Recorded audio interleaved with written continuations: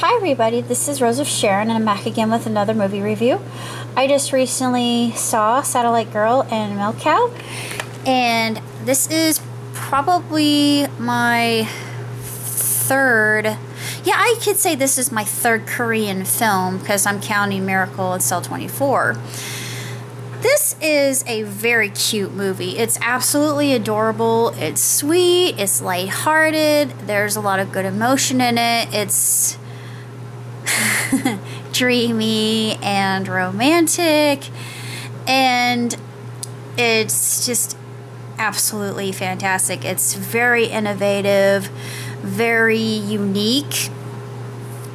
And it has a lot of fantastical elements in it that I really, really like.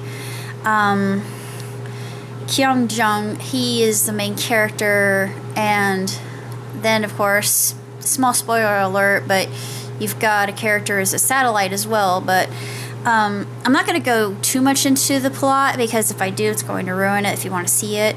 But as far as animated films go, this is terrific and I love it. I mean, the animation's beautiful. The characters are very stupendous. They're they're all incredible and very likable and um, different and eclectic and very rare. And this is extremely creative too. It's it's just it's unlike anything I've ever seen, and I've seen a lot of films in my time, so um, and a lot of them have, have been really unusual and, and weird. And this is the bizarre type of movie that is just is so exceptional that you can't help but love it. Um, this is so much better than Doggy Poo. I don't know if I ever did a, a review of that, but if I did, that movie is the worst movie I've ever seen. One of the worst animated films I've ever seen.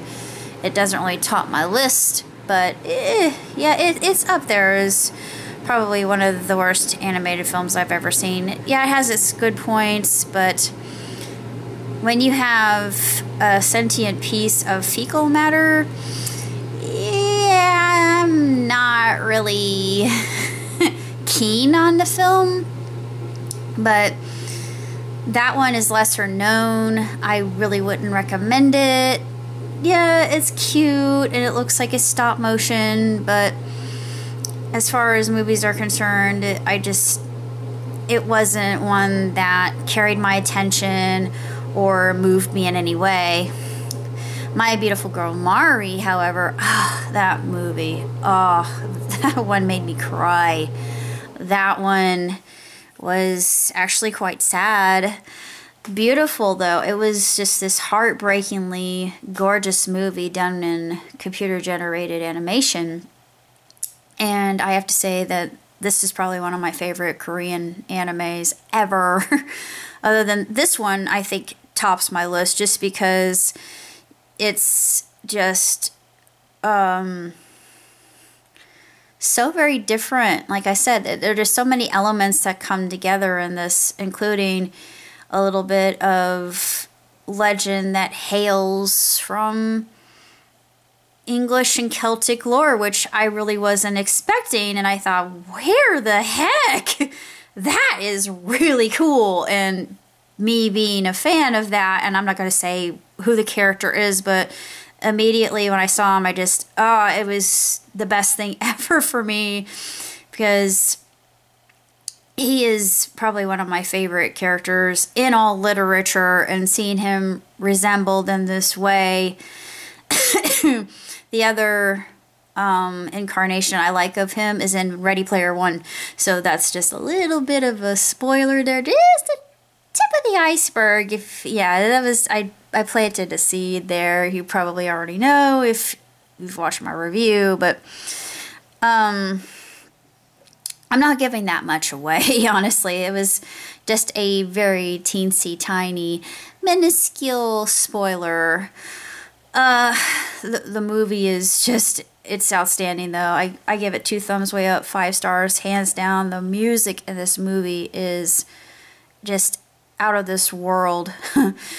um, I love the songs. I love the message that um, Kim Jong actually portrays. Um, I had seen a little bit of Lu over the wall, so it, it kind of reminded me of Lu over the wall, but I haven't seen the entirety of Lu over the wall, so I can't really make an assessment of it. Although, just being the fact that a mermaid is in it is enough to just make me love it because I am a mermaid myself. Um, but nonetheless, I just I love this this movie. Just the message, the lessons, the um, little morality uh, pinpoints that the film makes. It's it's not preachy, and it's just it's different. It's different. It's fun. It's lighthearted. There's a lot of good action. It's not too scary. I think anybody can enjoy it. There really isn't any bad language in it, so far as I know. Not anything that would be, you know, um, harmful. Well, even if it if it did, I don't think it would be anything that would ruin a child's life forever. Um, this is a movie a whole family can enjoy, really. It's for adults, it's for children. And GKIDS does a good, a good, just, they do a solid job of this. And there are a lot of others that I really want to see. I have Napping Princess, but I haven't seen it yet. And I intend on seeing that in the near future, or doing a review of it. But of course, I have to get through the whole remainder of the season of Game of Thrones, which I have seasons six through eight. So it's going to take me a while to get through it. But no matter, really. Um, I really quite savored the movie, and I hope in seeing a lot more of the G Kid G Kid films because I have. Um, a Cat in Paris, Ernest, uh, Celeste and Ernestine, or Ernest and Celeste, I do believe it's called, which uh, I think is Sylvain Chomet. I don't know if it's Sylvain Chomet's work. I, I love Sylvain. I've I've seen all of his films except for The Doves. I think it's called The Doves, or is it The Birds? I can't remember which, but it's one I cannot locate for the life of me. And if anybody has a link to it, I please send it to me because Sylvain, as far as I'm concerned, is one of my muses. I just, I love this man. I want to meet him. He is um, an inspiration to me, and I love his tongue in cheek humor. He's very witty. He's the type of person that I would just love to talk to because I love people who are satirists. Um, and I think his depiction of Americans is spot on. I mean, I, even though I'm, you know, I'm a patriot, but I'm not mad. It's it's accurate. It's it's very um, apropos. So of course I'm not going to be upset with that. It's art imitating life. um, I wanted to get the rabbi's cat because that just the the topic, the, whole thing, really interests me. Even though I am. Um, a fervent Christian. I'm not a fundamentalist. I have an open mind. I am a person who uh, in due time, I will be reading The Lesser and Greater Keys of Solomon. So, yeah. Please don't tell me I'm going to hell for that, but I've read all the pseudepigrapha. I am reading the Book of Mormon. I've read the Bible about three, four times now. I'm going to read it again. Uh, I have yet to read the Gnostic Bible. I have not read the Kabbalah. I did. I did read a copy of the Kabbalah, but not the, the actual Kabbalah uh, I plan on doing that. I've read everything else. Uh, let's see. I want to see Forgotten Bird Boy and the Forgotten Children. It looks stu- just stellar. Um, I like the just the gothic feel of it. I think there's one called Pickle Boy. That one I think is done with stop motion, which I'm a huge fan of stop motion. If you know me well, because Laika is you know they are the end all right now when it comes to stop motion, and they really they're just they too. I would love to work for Laika, honestly. Um, that's basically all I have to say. I think those are the only films I could think of other other than um, M- MFKS. MFKS looks uh, incredible. Promare is another one. Uh, Weathering with You was another. Uh, Promare, I think, has come out on DVD. I, I don't have the money, but I'm thinking of doing a, a Patreon for G Kid films or just recent releases in, in the G Kid category because I know a lot of people, a lot of my gardeners have been supporting me in the reviews I've been doing. Um, and Satellite Girl and Milk Cow was something that I just came upon as a kind of willy nilly thing. And I love Korean film. I just, I love foreign film in general.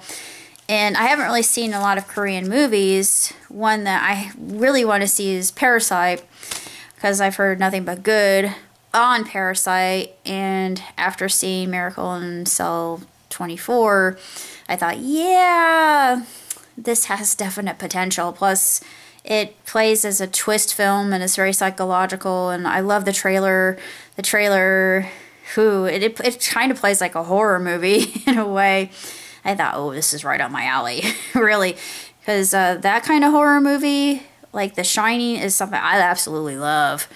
And I write like that too. I, I write a lot like, I don't know if I could say I, I write like Crichton, because I, I like to put a suspense into my tale keep people white knuckling their chairs. I love to do that because I have a real penchant. Um, I don't know what else to say, honestly, but that's pretty much all I've been up to. Um, um, that's all I'm going to leave. I, we're working a lot on a lot of other things. My class is going to begin tomorrow. So, I shall leave you with that. Until next time, live long, prosper. Ciao, Tootsie.